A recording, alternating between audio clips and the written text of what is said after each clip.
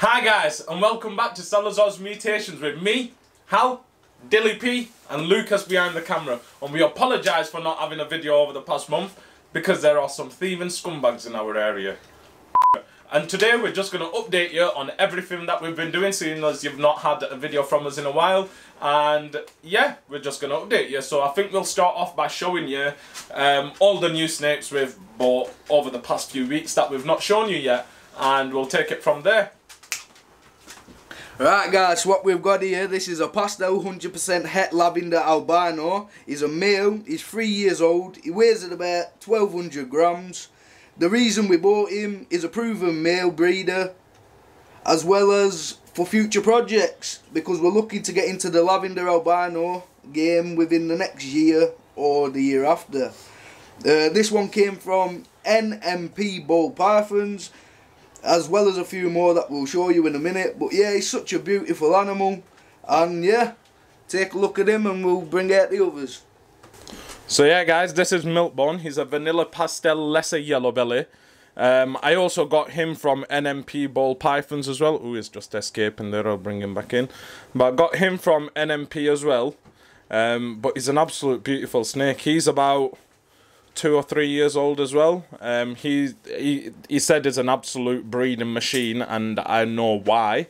Um, I'll let you know that in the second part of the video. But yeah, I bought him as a backup male for my breeding plans this year, and um, he's been uh, very good for me. So yeah, this is Milkbone. I'm gonna put him back because it's getting quite lively now, trying to escape this tub and. Uh, I'll get him put back and uh, go get another one.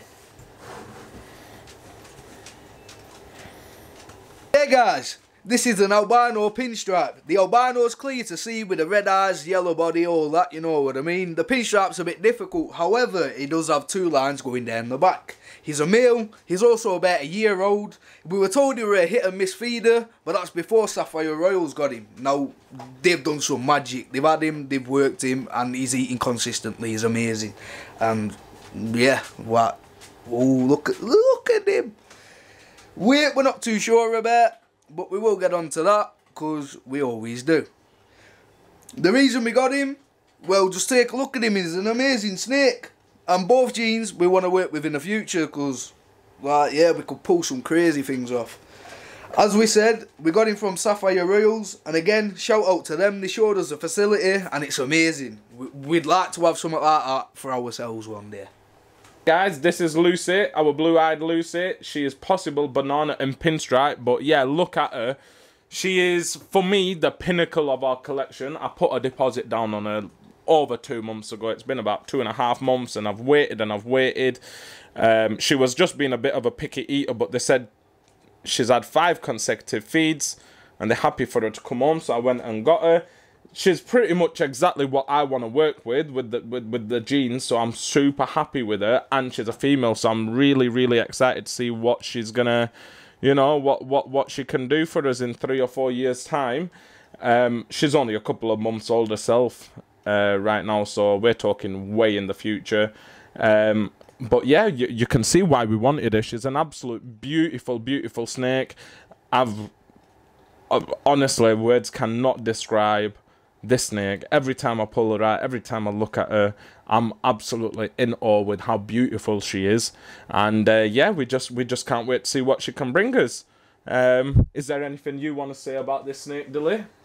What's not to say about this snake? Wow! It's like a black-eyed Lucy, but with blue eyes. She's amazing. Just really, like, as soon as she gets older, oh my god, it's gonna be amazing. Look at her head right now, little little pink on her head, white body, and oh, she's amazing. And that's all I've gotta say. So guys, this is a banana we got from R&R in Liverpool. We got him because he was breeding age and we was also picking up our blue-eyed Lucy at the same time. Also, we got our Super Fire from them so we know the quality is super good. But regarding the breeding, I'll let Hal talk to you a little bit about that. No. Yeah guys, so as Dilly was saying, we got him um, because he, he was breeding it from R&R. Shout out to R&R again for some absolute beautiful snakes. We are absolutely mesmerised with them. Um, but yeah, um, me and Dilly decided that we should have a do at having a breeding season this year. Um, and that's why we've been so busy, we've not uploaded in a while. Um, and this is our update to let you know what's going on. Um, we paired up our, well, our plan was to pair up our three um, het pieds, one pastel het pied with two normal het pieds, with um, a fire het pied that was, it was about 750, 800 grams. Um, however, he is I, I feel like he might be a bit too young, um, but he's just not going. Um, and that's when our Milkbone, who we showed you earlier, the Vanilla Pastel Lesser Yellow Belly came in because he was my backup male. And we was told he's an absolute breeding machine, and he is, because he locked onto all three females within the first three, within the first week or two. Um, locked on. I've we've had our first locks. We've witnessed them. They've been absolutely amazing. Um, but yeah, he locked onto them and he's doing fine. He's been eating, I've been taking him out, feeding him, he's been eating fine. My big females are eating fine as well for now. Um, and then I picked him up a few weeks ago and uh, thought, you know, seeing as my project or what our plan was for this year, for the het pieds to het pieds for some hopeful pieds, um, has gone down the drain for now in case the fire doesn't you know if, if the fire doesn't go then um, it's, it's that's a next year thing. But I thought well we'll go for an Easter egg lucky dip kind of thing. And I bought him and I've paired him up and he has shocked me. He has locked onto females for two days straight. Like I go and check him and he's locked like literally 10 minutes after I've put him with him and I'll go back in the morning and it's still locked. I'll go back at night, it's still locked. I'll go back the next day, he's still locked. It, honestly, 48 hours at least for each female he's locking onto.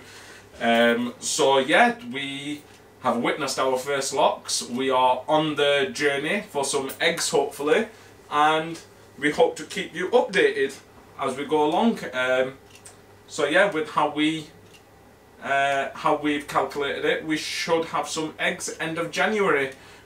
End of January through February, maybe early March. So yeah, keep your eyes peeled guys. So yeah guys, that's been it from us at Salazar's Mutations. We hope you enjoyed the video, but before we go, take a look at this. Salazar's Mutations merch coming very soon. Giveaways the lot, stay tuned for it. Instagram, go check us out on that Facebook group. Go join that new Facebook page coming soon. Like the video, comment on the video, turn on bells for notifications. Tell your friends about the video, tell your friends to tell your friends about the video, and peace! Crack is a hell of a drill.